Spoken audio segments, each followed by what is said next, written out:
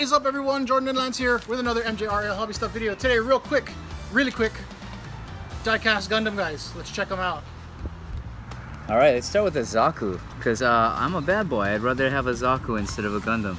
But first thing I noticed, this thing is super heavy. Uh, is it made out of Yeah, diecast metal. Die-cast metal? Yep. So if you load it into a cannon Mhm. and fired them at your enemies, you could murder them with Gundam. You can't travel with these on the plane because the, uh, Let me uh, see. They're in their own little hyperbolic time chamber here. the metal Plastic. detector will go off and they'll be like, sorry sir, you can't take your Zaku on the plane.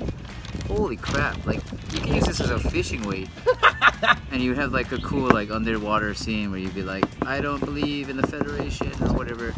But yeah, definitely sturdy. The details are great. Uh, look at how reinforced this box had to be because of the of the girth of this figure. Like if we had just used this this size box, well, it comes with a little ad. Oh, look how many different color schemes you have. Hmm, I like this green. I would have wanted the green. But anyway, uh, basically, if imagine if you had this guy only in here, right? Too violent and shaky, and this guy comes bursting out of the side of this box. Char's revenge. Okay, so put that guy on the side. And What is? These guys have so many vents. Sinanju. What is? Is it a Gundam? You did? Well, the bad guys have Gundam. Oh, see, the bad guys just look better. That's what I'm saying. Look how many vents he has. It's hot, that's why. Oh, and Oh. he's differently Oh, packaged. Interesting. I guess maybe he has extra figure pieces or oh, something. Oh, well, he's tied in. Oh. Oh, it looks like a noodle. Looks like a rice noodle.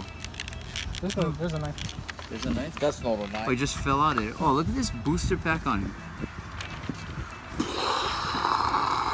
Out of the way, bro. Oof. And look at the size of the the the, the protector here. Yeah. The the the the cod piece, if you would. Uh-huh. this guy is really definitely has some extra weaponry stored away.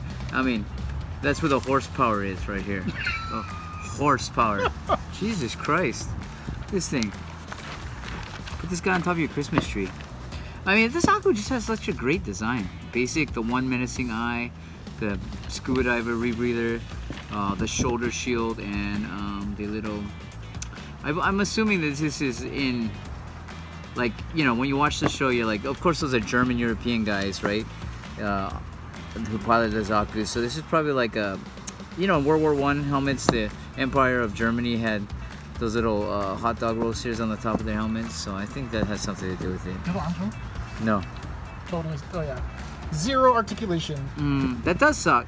I mean, it'd be cool if they had made the arms move at least. I mean, you know, leg. I you know I I, I kind of want to figure out like at least a five POA points of articulation, so you know their arms can move and their uh, their legs swivel and the head moves. That's what you know the basic like Star Wars movement. You don't have to get nuts like Marvel Legends crazy. Although that's pretty rad too. It's nice to have, you know, uh, multiple joints. Okay, so these guys are rad. Um, other than that, you know, uh, please follow me on Instagram at Hawaii Toy Box. Uh, please like and share this video, and please support me and Jay and uh, our other two buddies, Matt and Ryan, who are no long, who aren't in videos right now, uh, as we try to grow our channel. All right. Uh, again, aloha from Kaneohe, and have a good day.